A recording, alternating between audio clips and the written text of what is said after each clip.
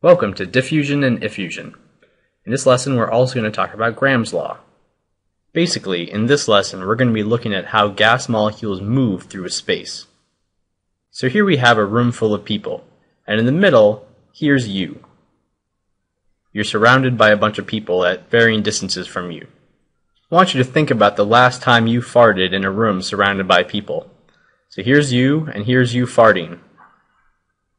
You probably noticed that the people closest to you started to smell the gas first, followed by the people that are a little further away, and that it took the longest amount of time for it to reach, for the smell to reach the people furthest away from you. Now, the reason the people closest to you smelled it before the people further away is because the gas molecules are constantly moving and constantly spreading. We call this diffusion. And diffusion is a tendency of molecules to move from an area of high concentration to an area of lower concentration until the concentration is uniform throughout. That means until the concentration is the same everywhere, the gas molecules will tend to keep moving towards that lower concentration area. So that's one particular phenomenon. Another phenomenon we see with gases moving is what happens when they escape from a container, and this is called effusion. With effusion, a gas is escaping from its container through tiny holes in the container. We can see that happening with this balloon. The balloon was inflated to a certain size, and then if left out over long enough time, the gas inside of it that was used to inflate it finds a way to effuse out. And as you can see, after some amount of time, the balloon has become much smaller, because that gas was able to escape through tiny pores in the balloon.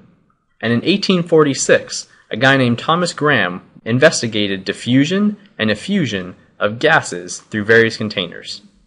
And he came up with a relationship between the rate, R, of a gas diffusing or effusing, and the molecular mass of that gas.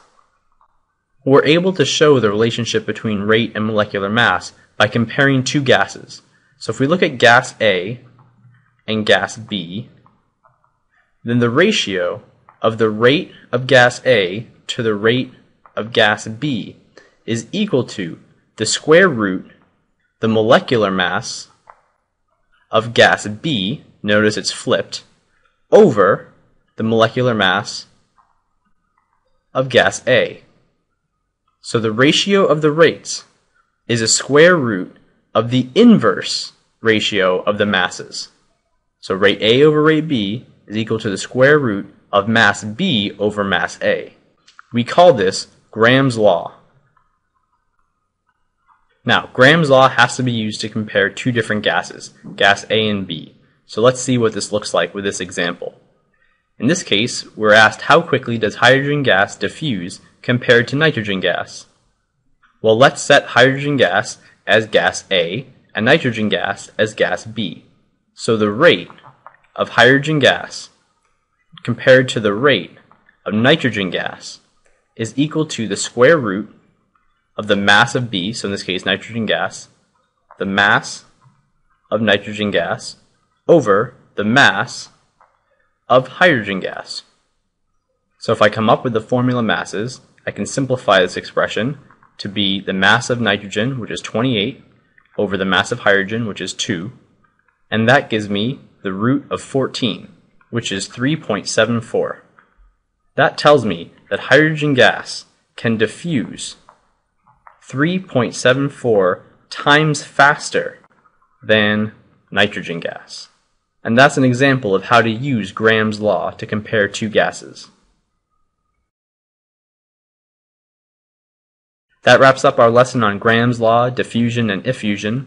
If you have any questions, write them down in your notes and bring them with you to class.